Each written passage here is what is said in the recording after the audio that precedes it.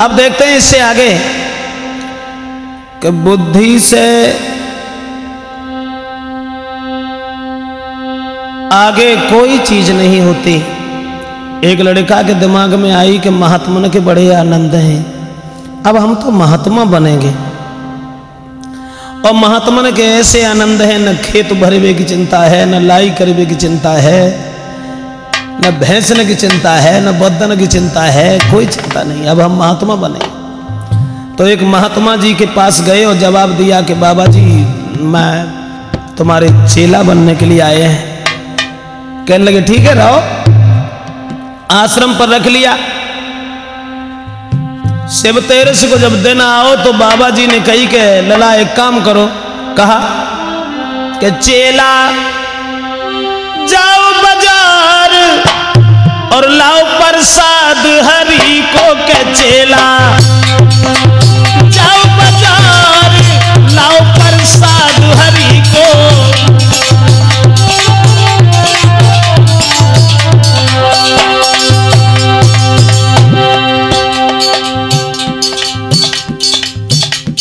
पाँच रुपया दे जवाब दो कि लला जाओ। बाज़ार जा ही रहे हो, प्रसाद ले आइयो। चल दे। हलवाई के पास पहुँच गए।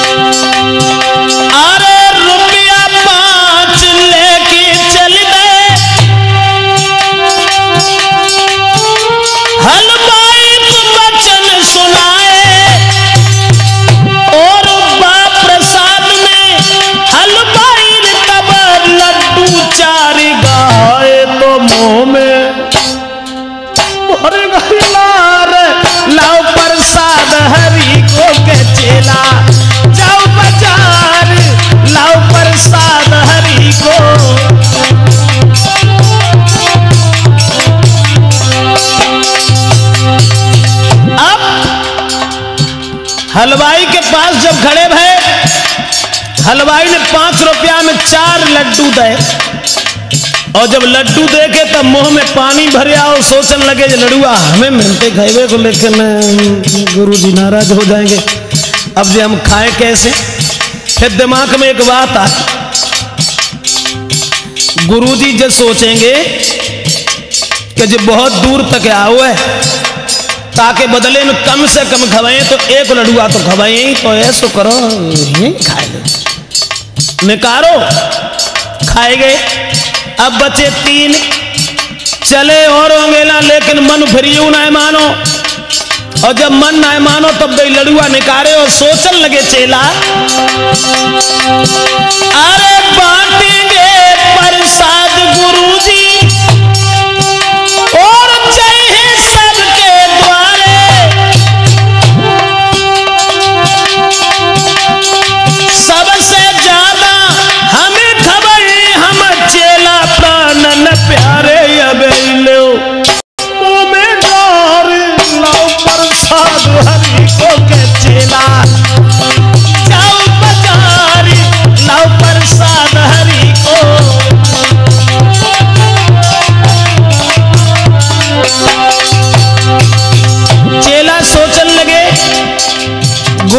सबे प्रसाद बांटेंगे तो सबे थोड़ो थोड़ो दिए, हमें ज़्यादा दिए, हम उनके चेला हैं। और कितो कम दिए तो एक लड़ुआ तो दिए तो जैसे यन खाओ, तैसे हुन खाओ निकारो, बहु खाए गए। अब बचे दो दो लेके और अंगेला चले, लेकिन मन फिर यूँ ना मानो। बे दो लड्डू पकड़े और दिमाग में एक बात आई। अरे सबे बांट के आश्रम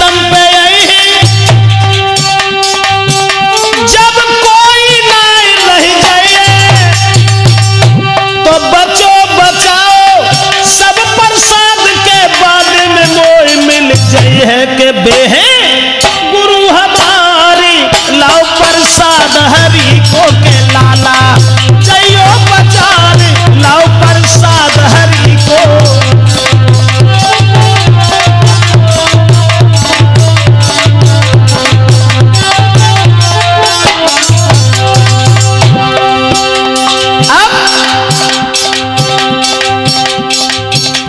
जब बचे तब मन में जबात आई गुरुजी जब सबे प्रसाद बांट के घरे आए हैं तो बचो बचाओ सब हमें मिल जाए, क्योंकि हम उनके चेला हैं, और कितो कम मिले तो एक तो मिले ही था से शुक्र। खाए लो। बहु खाए गए। एक बचो, एक लेके पहुँचे आश्रम तो जवाब दो, गुरुजी हम प्रसाद ले आए। गुरुजी कुछ काम से लगे, जवाब दो दद दो भाई, जब प्रसाद रख दिया उसके बाद जब गुरुजी ने देखा जवाब दे इधर पाँच रुपया में एक ही लड्डू आया। बोलो, सोना, गुरुजी चार आए। फिर है कहा? डंडा उठाया। जब चार आए तो वो कहा है? जवाब दो, गुरुजी, हमारी बात सुनो, हम पिटवे के लिए महात्मा ना है भाई हम तो केवल जाके लिए महात्मा भय के सीताराम बोलो मनवा तो डोलो चांदन के भैंस बदिया खोलो। को काटे हैं? लेकिन गुरुजी देखो, हम जासे है भाई, कि तुम हमें मारो। जब हम गए तो चार आए तो हमने जो सोची, गुरुजी सबसे कम मिले वो हमें तो एक लड़ुआ खवाए, क्योंकि हम खून से भोगाओं से भज के और हिल तक आए। तुरंत ही बिन ने सोची और हमने, विचार बनाओ, खाओ, चले आए। ठीक है। फिर बचे तीन बांटेंगे कम दी हमें ज़्यादा दी क्योंकि हम उनके चेला है और कितो दी तो एक तो खबाई था से बहु खाए लो कि फिर फिर कचोर आगे चले। फिर जब सोची जब कोई ना रह जाए तब पूरा प्रसाद बचो बचाओ, हमें मिल जाए तासे हमने तुरंत निकालो, बहु खाएँगे। सोई गुरुजी ने डंडा उठाओ, जवाब दो, तूने भगवान का प्रसाद खाया कैसे? मैं पूछ रहा हूँ, भगवान का प्रसाद कैसे खाया? कान लगो गुरु जी नहीं करो सबू लड़ुआ धरो रहा है बहु उठा के मुँह में डाल लो, देखो हमने ऐसे खाया